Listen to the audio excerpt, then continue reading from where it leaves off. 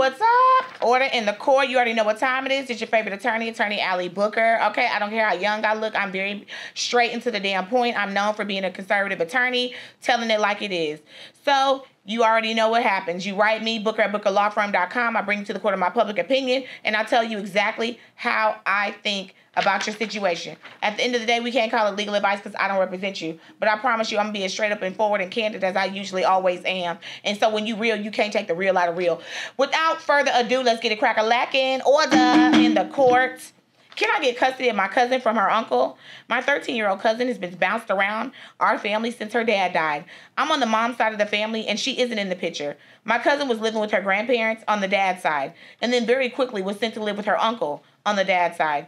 Her uncle is setting her, sending her to a troubled teen farm because he doesn't want to take care of her. Like he doesn't want to take care of her. He likes the survivor's check she gets, and that's all it's about. There's a lot more details on why they're unfit.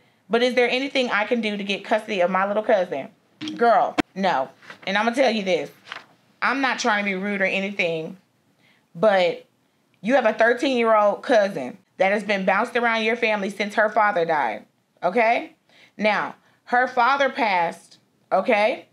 And so she went on the father side of the family. That was the problem. How in the hell did that happen? Okay, because we're to go. Because if you're to come ask me something, then you need to be straight up with me about what's going on.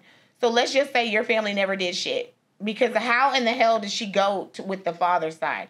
Usually, every case that I have, when the child goes with the father's side, it's because the father had custody of the child when the child when the child was alive. So it's natural that the children would go with his side because your side wasn't never doing shit because the mama wasn't never doing shit. And y'all didn't step up and do what the mama didn't do. Am I correct? Because to me, you say the mama is not in the picture and you're on the mom side of the family. Baby, if the mama is not in the picture, you can't get your ass in the picture because you have to have a close and continuing relationship with the child, okay? And there has to be an open custody case. Okay? There has to be an open custody case and you have to have a close and continuing relationship with the child and be a grandparent of that child in order to step in to be an intervener. Or you have to have possession of the child for six months or more. Anybody giving you this child. Now, if you feel like the child is in harm's way, then yes. I mean, anytime you feel like a child's in harm's way, you can call a CPS case in but I don't think these parents are doing the wrong thing or this family's doing the wrong thing. Looks like your your niece is a problem or cousin is a problem. Um, she was with her grandparents. The grandparents gave her to the the uncle. That's I'm gonna assume because she was too damn much to handle. The uncle is trying to put her in a damn teen farm because her ass is bad. She doesn't she doesn't behave well. She has behavioral health issues. And it's not easy to get a child in a teen farm at all. It's not easy to get a child placed, okay, in a in a residential treatment facility for behavior disorders. That's hard. Okay? If he gets her in there, she needs to be in there. Her history, her mental illness history, whatever she has that you obviously don't know about, is why she's there. Because, honey, the survivor's check is not enough money to pay for a regular, like a boarding school. So he's not putting her in a boarding school.